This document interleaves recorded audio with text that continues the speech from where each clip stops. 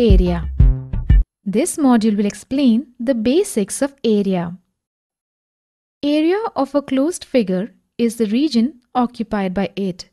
Consider a closed figure shown here. The shaded region represents the area covered by it.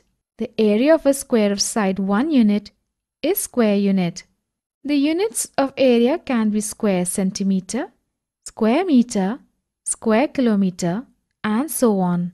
Let us now study to find the area of irregular shapes.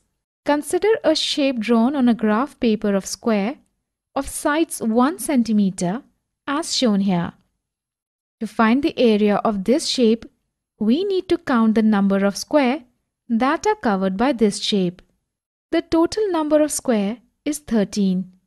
So the area is equal to 13 square centimeter. We use the following convention to calculate the area of irregular shapes. 1.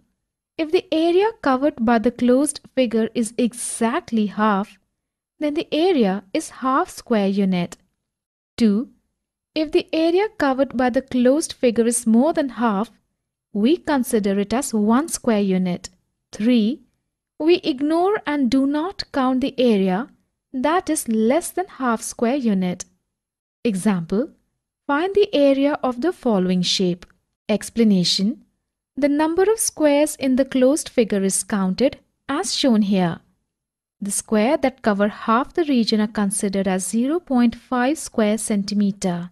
The squares that cover less than half the area are not counted. The number of squares inside the closed region is 9 square centimeter as shown here.